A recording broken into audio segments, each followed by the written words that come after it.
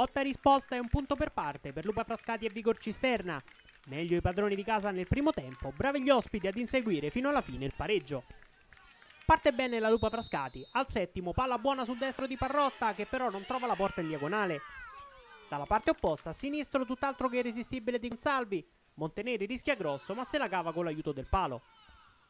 La gara si sblocca al dodicesimo, punizione da sinistra, stacco vincente di gentilezza e Lupa Frascati in vantaggio. Passano 5 minuti ed arriva anche il raddoppio.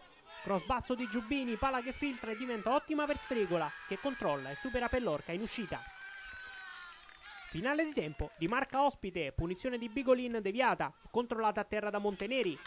Poi proprio al 35esimo, contatto ai danni di Parrotta che l'arbitro non sanziona. La Vigora continua a giocare con Salvi e bravo a controllare in area e mettere a segno il gol che gli apre la gara tra le proteste dei padroni di casa. Ripresa vivace al quinto, punizione in area di sfrego, la palla che filtra, Monteneri controlla a terra.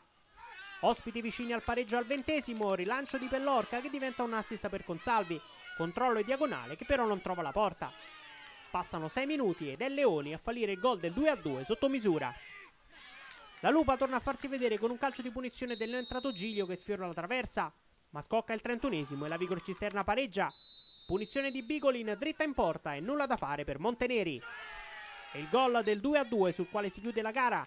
La Lupa resta penultima in classifica, per la Vigor un punto che fa comodo nella rincorsa alla salvezza.